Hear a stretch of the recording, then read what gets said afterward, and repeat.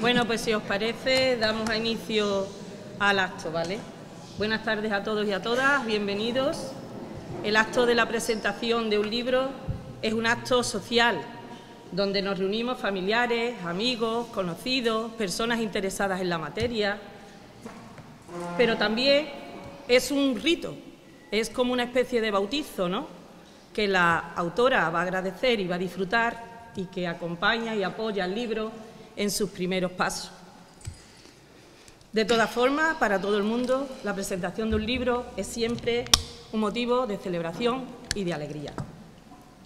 Y hoy nos damos cita aquí para presentar un libro especial, rodeado de personas especiales y en un lugar también especial para todos y todas las asistentes. Gracias, Paula, por la confianza que depositas en mí Intentaré hacerlo de la mejor manera. El contexto facilita la tarea. Como he dicho, estamos rodeados de la gente idónea y de un entorno tan simbólico como es el Teatro Javier Periane, lugar emblemático del paisaje cultural de Nerva. Aunque no necesitan presentación ninguna de las dos, es de rigor presentar quién constituye la mesa, presentadora y autora. La presentación va a correr a cargo de Vanessa Navarro Calero, amiga y compañera de Paula, conocido, conocida por todas y por todos los presentes. Como ella misma declara en su malacate, me nacieron periodistas, periodista de profesión y de vocación, escritora, magnífica articulista, especializada en comunicación política y asesora en su propia consultoría de comunicación enamorada de las ondas radiofónicas, agitadora social 2.0, pero batallando por los derechos fundamentales a pie, desde la calle. Y tal como la nacieron, pues así sigue, como siempre, como ahora, como dentro de unos minutos cuando tome la palabra, comunicando. Gracias, Vanessa, por poder compartir esta mesa contigo.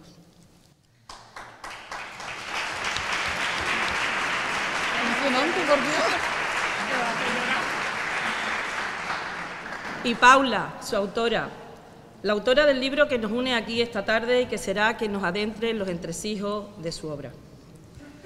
Paula Durán González nace en Nerva el 8 de octubre de 1991. Es la hija primogénita de Isidoro Durán y Hermi González, a quienes siempre consideré mis amigos y así los sigo considerando.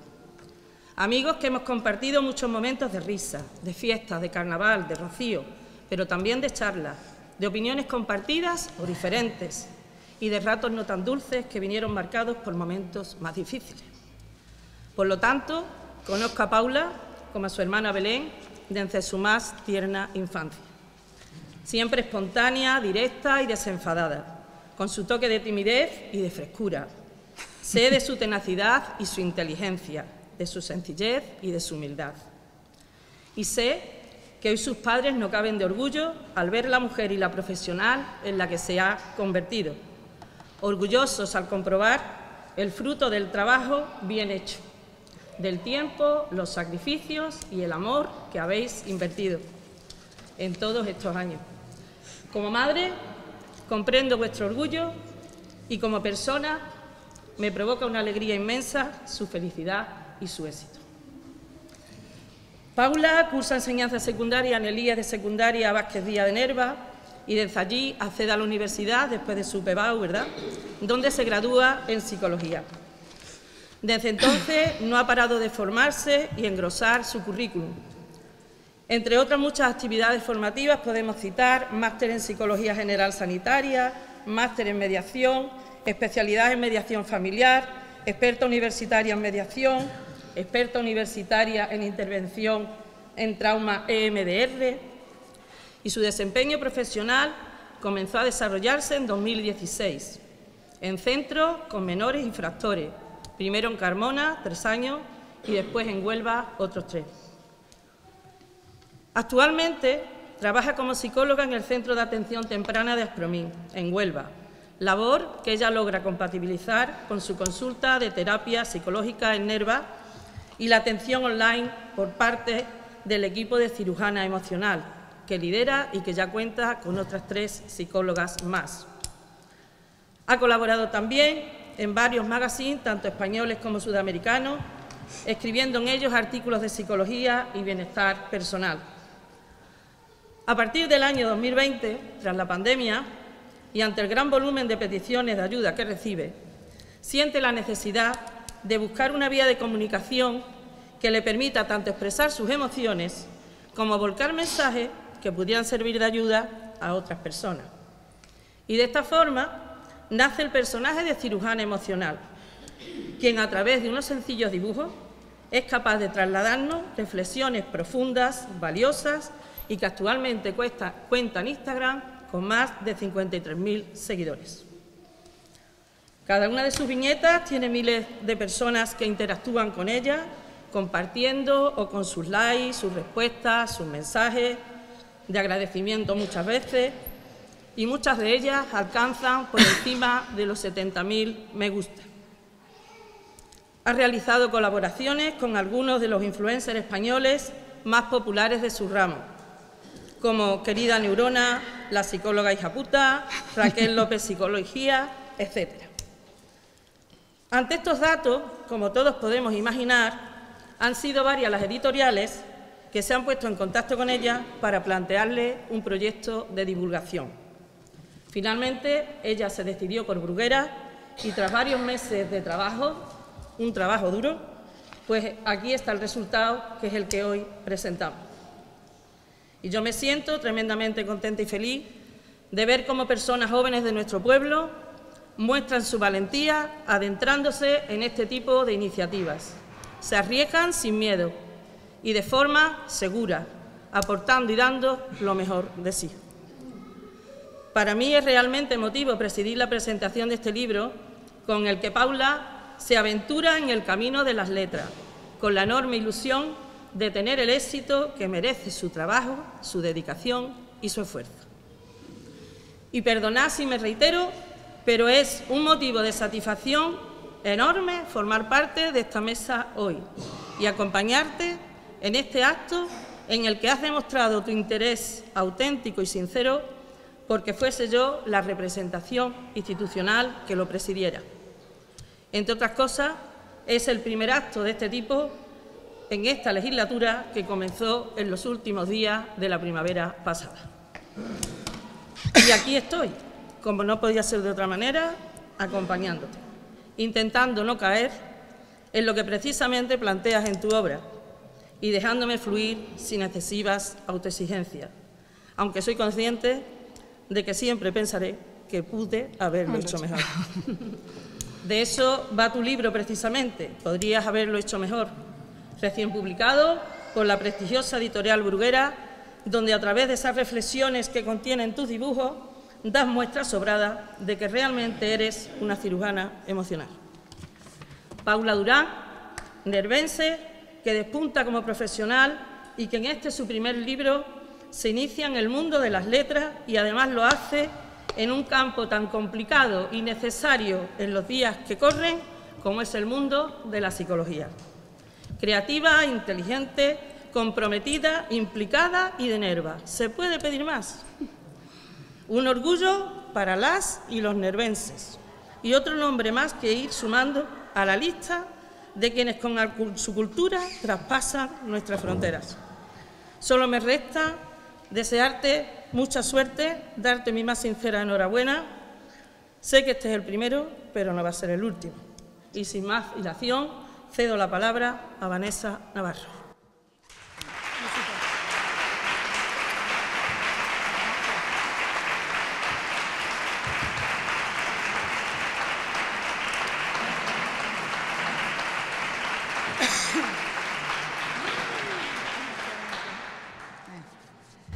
Buenas tardes a todas y a todos. ¿Se escucha bien? Sí.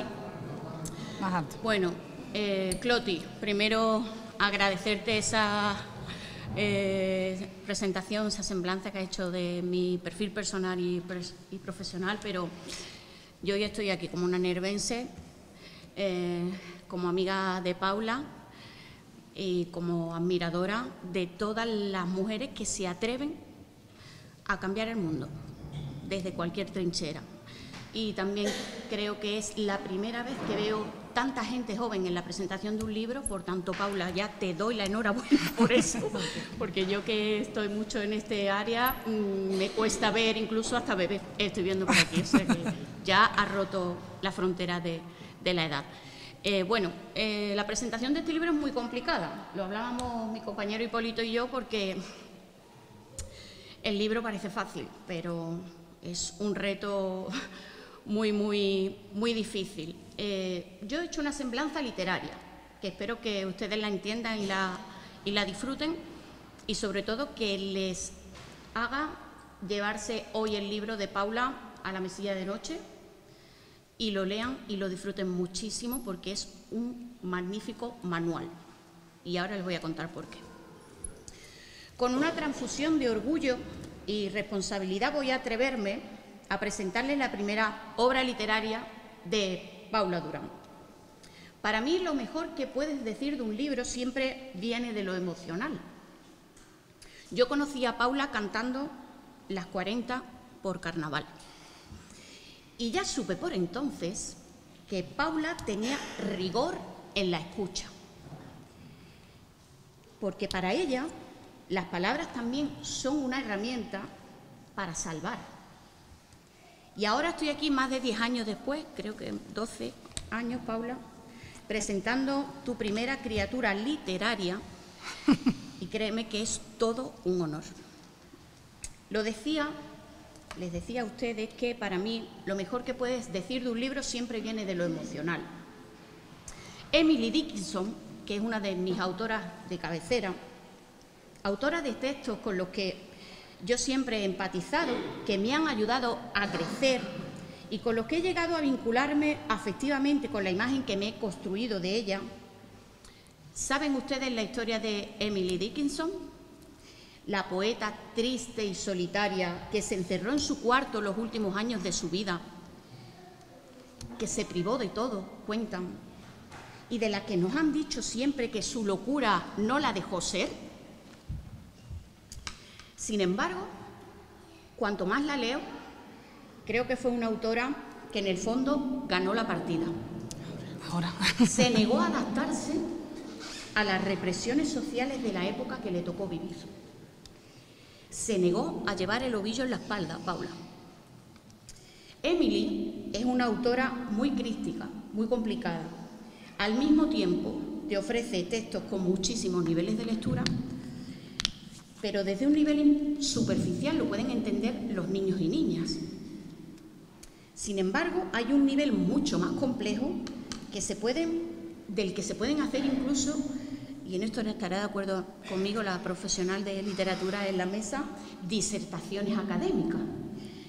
Y esto, ni más ni menos, es lo que ustedes van a encontrarse, podría haberlo hecho mejor. Y no se me caen los anillos en comparar a Paula Durán con Emily Dickinson. Un ovillo. Los que han leído el libro, ¿quién ha leído el libro? Levanten la mano. Pregunta de examen. Vale, bueno, no voy a hacer spoiler, tranquilo. Pero un ovillo es la metáfora visual que Paula ha creado en el personaje principal de esta novela gráfica para interpretar la autoexigencia. Un ovillo que representa de manera muy sencilla cómo es la trampa de la, la autoexigencia. Ese ovillo tiene muchas sufridoras en la literatura, no solo a Emily Dickinson. ¿Sabían, por ejemplo, que Juan Ramón Jiménez cargó con ese ovillo durante gran parte de su vida literaria? Y sabían además que fue su querida compañera Zenobia Camprubí la que le ayudó a deshacer ese ovillo para que pudiera conseguir el Premio Nobel de Literatura. Es decir, ¿sabían ustedes que Juan Ramón Jiménez consiguió el Premio Nobel de Literatura gracias a Zenobia Camprubí? Pues lo cuento porque normalmente no se suele contar. Otro gran ovillo tuvo la imprescindible Virginia Woolf, que desde su habitación propia se enfrentó al sistema rompiendo la deseabilidad social, que tú hablas eh, de ella en el libro. A Virginia Woolf es que le importó un pimiento frito no caerle bien a todo el mundo. Albert Camus aseguraba llevar dentro un verano invencible incluso en invierno, otro que combatió el ovillo. Y Heidegger nos mostró que todo el mundo es el otro y nadie es uno mismo. Si, si él viviera en esta sociedad de la apariencia y del éxito como motor de la felicidad, yo creo que se bajaba de la vida. Freud solía describir el deseo de ignorar lo que sabemos como olvido motivado. ¿Y por qué le cito yo a todos estos autores y autoras? Porque a todos ellos los llamaron locos por usar las palabras y por usar la literatura para priorizarse. Miren, esta novela gráfica que tengo entre mis manos es un manual para el alma, un recetario al que hay que acudir cuando no nos conformamos, una obra imprescindible para el cuidado. Y sobre la imperiosa necesidad de priorizarse en un tiempo donde la inmediatez está enterrando el análisis y la reflexión, donde hemos considerado que la felicidad es tener éxito, donde no tener tiempo es motivo para presumir. Un tiempo este en el que hemos normalizado llegar agotadas al final del día y donde el autocuidado es un lujo. La obra de Paula tiene indudablemente un análisis sociopolítico. Miren, 100 años, 100, hace que tenemos la misma jornada laboral. Esa que establece 40 horas a la semana, que son las que hay que trabajar, dice el sistema, para ser productivas. Como si la productividad la marcara el reloj. Como si a una escritora tuviera que venirle la inspiración de 8 a 3. O como si la mejor manera de construir una casa se pudiera hacer en ocho horas al día. En este libro, para el que les pido varias lecturas conscientes y críticas, van a encontrar acciones políticas, reflexiones socioeconómicas. Atrévanse, de verdad, a ser minuciosos y minuciosas con cada viñeta. Detrás de cada una de ellas hay una lectura filosófica de la sociedad capitalista en las que nos hemos criado y desarrollado, donde hay que trabajar para sobrevivir, donde tener una hipoteca es un triste estatus, es la maldita moral del esclavo, donde pedir ayuda es un fracaso y donde el éxito es no tener tiempo para vivir. Y sí, me atrevo a afirmar que ustedes van a tener entre sus manos un manifiesto sociológico que pone la vida en el centro. Y en el centro de la vida, nosotras, las mujeres. Y verán, este es el prisma feminista que yo veo en la obra de Paula. Lo que ha desmenuzado cirujana emocional sobre el feminismo. Porque ser feminista es estar continuamente cambiando de idea. Es cuestionarse todo el rato. Algo que quieren quitarnos en este sistema que nos fuerza a posicionarnos siempre a favor o en contra de lo que sea. El feminismo a mí lo que me enseña cada día es que estoy equivocada sobre muchas cosas, que muchas de mis ideas son prejuicios que vienen dados por una cultura que no ha tenido el tiempo ni las ganas de cuestionar y que por tanto igual que estamos continuamente cuestionando los discursos ajenos que vienen desde fuera, tenemos que estar continuamente debatiéndonos nosotras mismas porque estamos hechos de esos discursos. Que no hay espacio para equivocarse, porque es que equivocarse hoy en día está considerado un fracaso. Y qué necesaria esta obra, Paula, para coger las gafas violetas, voy a poner las gafas porque me estoy dando cuenta que es que no veo bien. Em, para coger las gafas violeta y desenmarallar ese, ese ovillo patriarcal, ¿no? ya tienes hipoteca. Vale. Em, ¿Y ahora cuándo va a ser madre? Em, primero tendrá que tener un trabajo estable, porque solo lo estable te posiciona en lo exitoso. No vaya a ser que el riesgo y la ilusión y la ilusión te hagan emprender y diseñar la vida que te dé la gana. Pues basta ya.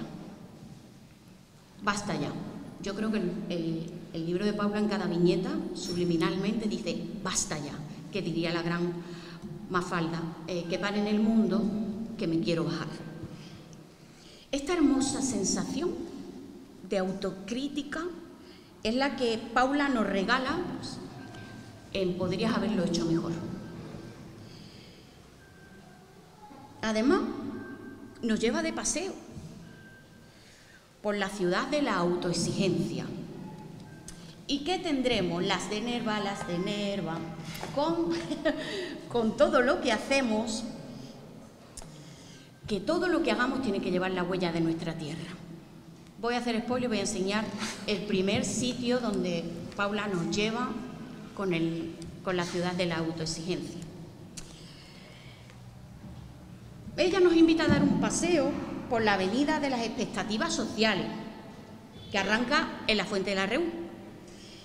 Y además, mm, no podemos dejar de entrar en el Museo del Trabajador Ejemplar, en Cabasquez Díaz.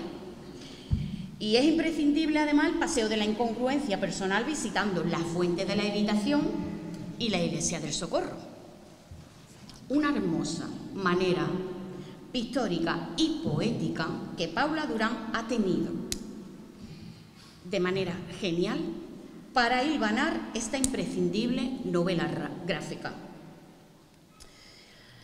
Em, voy a mandar a Josema por un mandado, por favor. Y, quiero hacer como, no sé si ustedes conocen la canción Blowing in the Wind, que para mí es de las canciones más bonitas que, que jamás se han escrito, que dice, ¿y cuántos años pueden existir algunas personas antes de que se les permita ser libres? Vente, Josema. Un aplauso a Josema. A la zapata. a matar.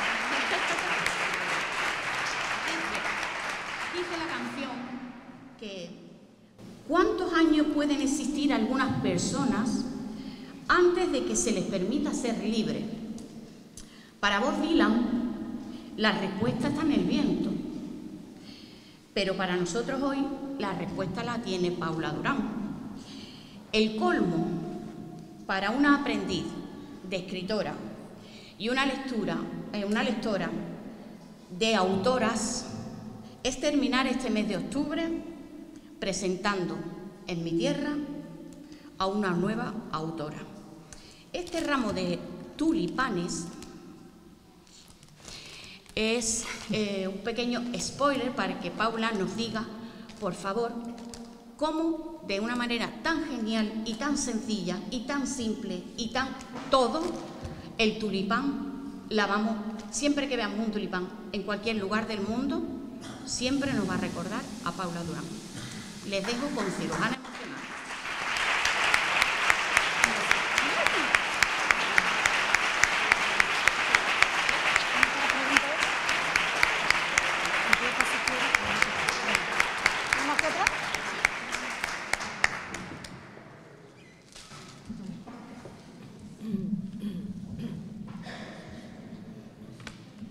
Se me escucha, ¿no? Estupendo. Bueno, primero muchas gracias a mis dos compañeras por estar aquí y por aceptar esta presentación, el venir. Hoy quería que, esta mesa estuviera compuesta por tres mujeres, porque no es lo habitual en la presentación de, los libros y, gracias a ellas dos, a Cloti y a Vanessa, por hacer lo posible. Y en segundo lugar, muchas gracias a toda la gente que ha venido hoy a acompañarme Estoy un poquito nerviosa, pero me perdonaréis, ya me conocéis, así que, bueno. Eh, gracias de corazón y, nada. ¿Y vamos al lío? Vamos al lío. Venga.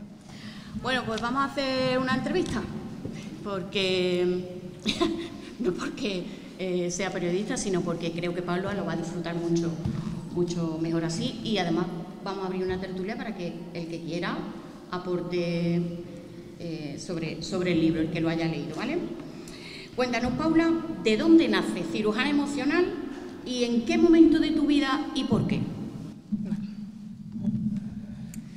Eh, cirujana emocional nace en la época de pandemia, eh, durante el confinamiento había visto muchas cuentas que se dedicaban a la divulgación.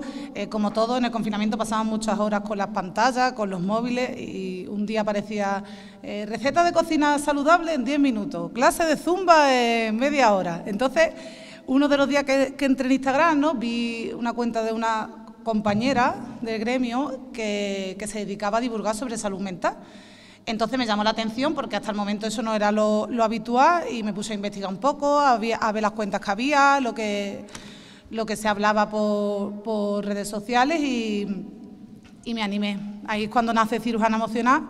Si bien es cierto que el propósito, el proyecto eh, de Cirujana Emocional de hace tres años, eh, no es el mismo que ahora. Eh, en ese tiempo me dedicaba a divulgar sobre un tema al azar. Hoy, por ejemplo, vamos a hablar sobre ansiedad, hoy vamos a hablar sobre dependencia emocional, ¿no? Y la hacía eh, escribiendo, ¿no?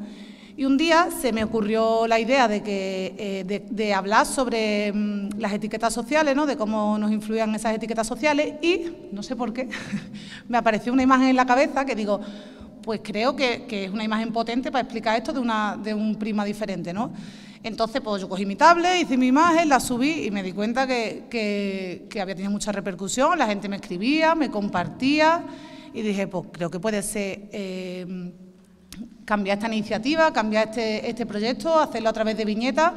Creo que puede ser interesante porque, bueno, en la sociedad en la que vivimos, como ha dicho bien antes Vane, tenemos poco tiempo eh, para dedicarle a, nuestro autocuidado y, al ocio, ¿no? Y llegar a casa a lo mejor después de 10 horas trabajando y ponerte con el móvil a leer cinco páginas sobre ansiedad, ¿no? puede que sea el efecto contrario de lo que, de lo que queremos. Entonces, eh, nada, subí esa viñeta, la gente empezó a compartir y a partir de ahí empecé a expresar a través de, viñetas. Creo que, el beneficio de esto era que con muy pocas palabras y una imagen llegaba a muchas más personas que mucho texto. Entonces eso empezó a crecer, empezó a crecer, a crecer, a crecer eh, rápido y hasta el punto de que me metí en Instagram y, me había compartido, me empezaron a seguir gente famosa de, vamos, de, nuestro país, que yo decía, ¿esto qué, por Dios? me veía eh, Cayetana Guillén Cuervo, Massin Huerta, eh, Leticia Dolera, y yo decía, por Dios, que esto se está poniendo serio, vamos. Entonces, bueno, eso, eso por ahí. Y es verdad que, desde, desde, que Cirujana Emocional empezó hasta ahora, el personaje eh, y la manera de transmitir también creo que ha evolucionado, ha evolucionado de, forma favorable. Ya hoy en día somos más de 54.000 seguidores y, bueno, y creciendo. Así que contenta. Bueno, pero ¿por qué has apostado por la novela gráfica? Porque, bueno, eh, sé, por, hay gente aquí en el pueblo que conozco bien, que ustedes saben perfectamente lo difícil que es no solo escribir una novela, sino encima hacer una novela gráfica. De hecho, las grandes novelas gráficas, eh, no sé, se me viene a la cabeza, a ver si alguno por aquí también me, recuerda alguna, Mouse, por ejemplo, ¿no? que, son, que es un cómic de, ratones que cuentan cómo tuvieron que huir de un campo de concentración y lo cuentan a través de dos ratones. Entonces yo me gustaría que Paula nos contara por qué apuestas por la novela gráfica. Vale. A ver, eh, la apuesta por la novela gráfica no surge 100% como una idea mía, ¿no? Exclusiva. Un día, os voy a contar una anécdota, un día iba camino al trabajo y llegué un poquito antes y me puse a actualizar mi correo electrónico, mi agenda, mis cosas. Y me veo un correo electrónico, Cristina Martínez. Digo, ¿esto qué es? Un titular grande, eh, propuesta literaria Penguin Random House. Mira, a mí me tembló las piernas, los brazos, yo no sabía qué estaba pasando. Lo primero que hice es ver si era verdad o alguien me estaba engañando. Me metí en el correo digo, pues esto parece que va serio. Eh, me escribió, soy Cristina, soy editora de Bruguera, eh, he visto tu contenido en redes sociales y me gustaría que tuviéramos una reunión pues, para una, propuesta mm, literaria, ¿no? Entonces, yo me hice la interesante, tardé 10 minutos en contestarle. Le mandé toda la información que me había pedido y, bueno, desde ese día hasta que nos reunimos pasó un mes, ¿vale? Imaginarse el mes que, pasé. Eh, en ese mes pasaron cosas porque se pusieron en contacto otras editoriales que yo ya decía, madre mía, que esto se está poniendo serio de verdad, vamos. Entonces yo ya decidí que después de que pasara este tiempo me, senté con Cristina, Cristina hoy en día es mi editora, elegí trabajar con Penguin Rando porque me gustaba mucho el contenido que hace el tipo de, divulgación que, mm, que, hace Bruguera. Y nada, Cristina me dijo que quería exactamente lo mismo que hacía en redes sociales, pero lo difícil porque yo en redes sociales eh, subo viñetas con temas, cada día un tema diferente que se me ocurre, voy subiendo, pero yo quería una historia hilada, un personaje que contara con sentido, una historia que tuviera sentido. Entonces, creo que ese ha sido el gran reto de esta novela, darle, darle movimiento a un personaje, darle acción y, abordar un tema durante todo, todo el libro. Creo para los que me habéis leído, que lo he conseguido, ¿no? Podría haberlo hecho mejor, seguramente, pero lo he conseguido y, y nada, es verdad que una novela gráfica es una, apuesta arriesgada porque no es el tipo de libro que un lector está acostumbrado a consumir, ¿no? y más en el tema de salud mental y de autoayuda. Es difícil eh, abordar temas de psicología con, con dibujo, ¿sabes? Entonces, bueno, eso es un poco el origen de, esta novela. Me encanta porque Paula ha pasado del síndrome de la impostora, cuando le llegó el email, ¡oh! yo no me lo podía creer, esto tiene que estar equivocado porque a mí me ha pasado también cuando he recibido cosas importantes por correo, hemos dicho, esto es un error, esto es un spam, esto es Ha pasado del síndrome de la impostora a la seguridad de una mujer potente. ¿No? Ha dicho, me hice la interesante y tardé 10 minutos en contestar. Entonces, me parece, me parece genial. Bueno, eh, ¿y por qué has escogido la autoexigencia como, como tema de la novela? Vale. Eh, no sé si conocéis mm, lecturas relacionadas con salud mental y con autoayuda. Casi todo lo que hay hasta el momento son temas de ansiedad, autoestima, depresión. Y, y, había poco tema sobre autoexigencia, por no decir nada. Entonces, yo siempre pienso que la ansiedad, tener una autoestima baja, eh, incluso caer en una depresión, es una consecuencia en, muchos momentos de, la autoexigencia. ¿no? Entonces, eh, todos en algún ámbito de nuestra vida somos exigentes con nosotros mismos, ya sea en el ámbito familiar, en el laboral, en el de la pareja. Eh, entonces, siempre digo en consulta que al final la, la autoexigencia es un arma de doble filo. Por un lado tenemos una la autoexigencia adaptativa, ¿no? que es la que nos hace, nos impulsa de manera sana a luchar por unos objetivos, por una meta, pues preparar unas oposiciones, eh, elaborar un currículum para buscar trabajo, eh, y está la autoexigencia patológica, ¿no? que es la que nos bloquea y nos impide alcanzar unas metas o eh, cuando alcanzamos unas metas nunca conformarnos ¿no? y pensar que podríamos haber hecho mejor y ahí es cuando donde reside la trampa de, de la autoexigencia. ¿no? Eso, por un lado, creo que fue una clave por la que yo me decidí a, trabajar sobre autoexigencia, pero hay algo que también me gustaría contaros, que es que mm, durante el tiempo que llevo trabajando acompañando a, personas, eh, siendo terapeuta, eh, hay una pregunta que se me repite mucho en muchas consultas. Eh, Paula, ¿por qué teniendo una, una, familia sana, unos amigos que me quieren, mi casa, mi trabajo, que a lo mejor no es el trabajo de mi vida, pero que me da para vivir bien y vivir estable, una carrera, eh, ¿por qué no soy feliz?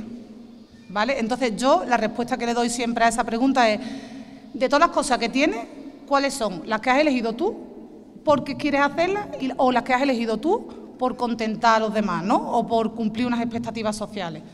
Entonces, eh, esa pregunta eh, siempre se repite y yo eh, contesto ¿no? con la frase de que cuando nuestros objetivos se basan en cumplir las metas o las expectativas de los demás, estamos destinados a fracasar o estamos destinados a frustrarnos, a tener ansiedad, a tener malestar, a tener agotamiento físico, en fin. Eh, entonces, creo que, es un, tema importante porque es todo el mundo lleva esa parte de, autoexigencia dentro y, me parece interesante. Y además quería, hablando de los tulipanes, quería leer una parte del libro. Eh, ¿Se escucha? Sí. Eh, es una reflexión, una metáfora que escribí. Vamos a ver, que no veo ni. es que no hay mucha luz aquí. Vale.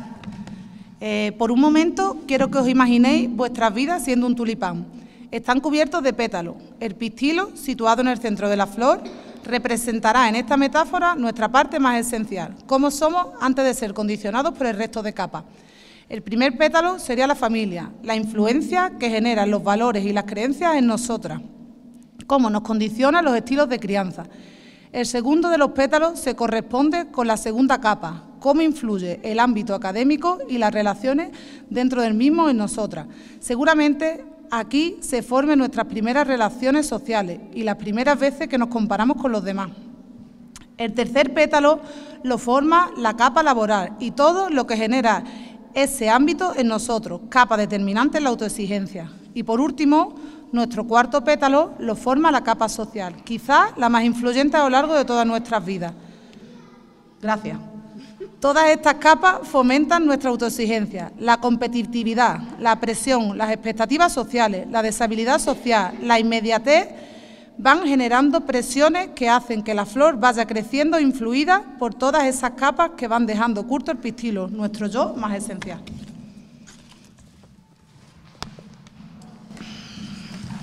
Bueno, Paula, te voy a llevar la contraria. No, no, creo que seas capaz. mira, decía Cloti en la presentación o me definía como agitadora social, ya quisiera yo. Eh, ha dicho Paula que todo el mundo sufre la autoexigencia. Y yo lo siento en el alma, pero yo le tengo que trasladar esta reflexión, que todo el mundo no. Porque yo estoy convencida que si pudiéramos darle este libro a una madre o a un niño o niña en Gaza, nos tiraba el libro a la cabeza porque estamos hechos de una sociedad de imbéciles. Porque esta sociedad capitalista del lo tengo todo pero no soy feliz nos está haciendo imbéciles. Entonces, creo que esta noche cuando os vayáis a leer el libro de Paula, es importante que hagamos también esa reflexión, ¿no? Mm, ¿Qué es la autoexigencia y por qué la tenemos impuesta?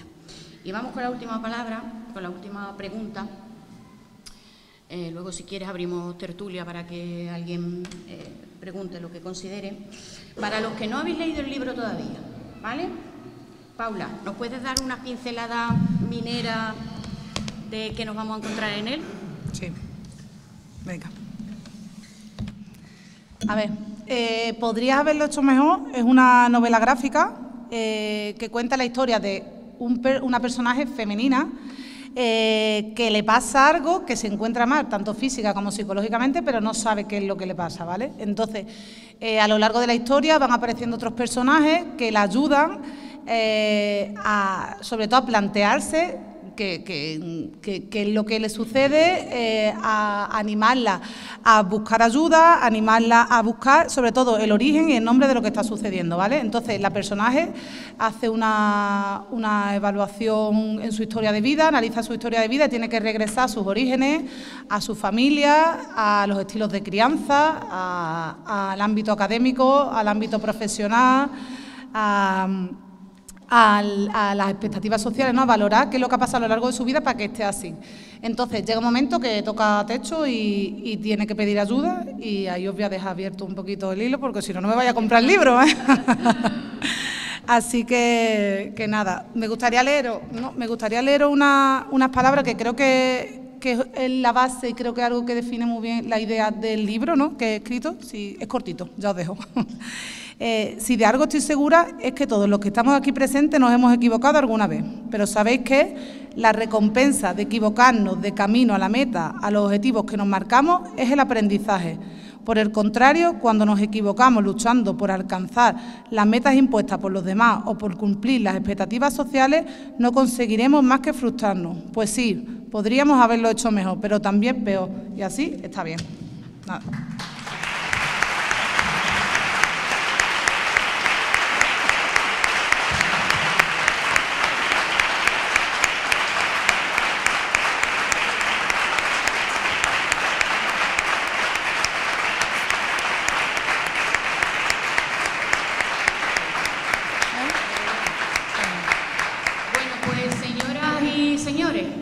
una nueva autora nervense, cirujana emocional, un fuerte aplauso para ella. Voy